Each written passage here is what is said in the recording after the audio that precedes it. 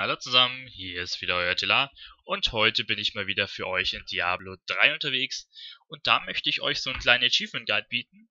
Und zwar geht es heute um das Achievement der Schlupfwinkel der Lakoni und hierzu müssen wir erstmal in das Gebiet Heulendes Plateau und dann äh, können wir hier, wenn wir dann hier diese Höhle finden, ihr seht es schon, das verlassene Bergwerk, dieses Achievement machen.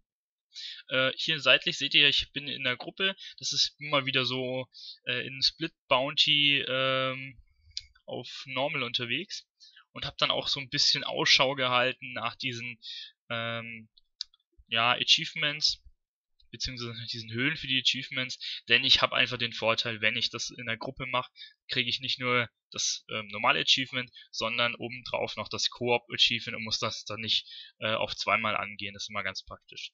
So, ihr seht, ich habe diese Lakone jetzt alle umgebracht. Hier ploppt auch ein Achievement auf. Das ist aber ein anderes Achievement, also das ist hier nicht das, was wir uns farmen wollen.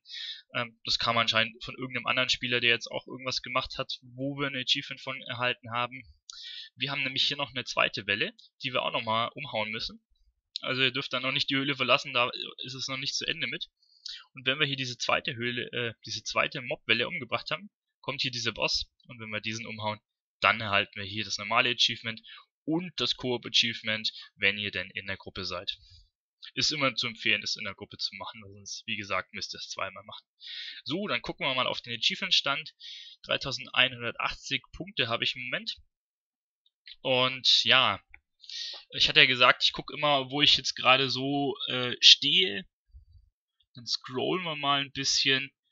Ja, gut, so bei 200 rum bin ich jetzt im Moment. Also ich denke mal, das ist jetzt schon gar nicht so schlecht. Ich werde jetzt aber in den nächsten Tagen hier in der Season weitere Achievements machen, um mal vielleicht auch in die Top 100 zu kommen. Muss man mal gucken, wie es ausgeht. Aber ich habe leider jetzt die nächsten Tage nicht frei also heißt, ähm, da werden wahrscheinlich andere ein bisschen einen Vorsprung sich rausarbeiten. Aber nichtsdestotrotz bleibe ich mal dran und macht für das ein oder andere Achievement auch nochmal ein Video. Also wenn ihr davon mehr sehen wollt, könnt ihr mich gerne abonnieren. Wenn euch das gefallen hat, könnt ihr mir auch gerne einen Daumen nach oben geben. Sonst wünsche ich euch noch einen schönen Tag. Bis zum nächsten Mal. Euer Tilla. Ciao.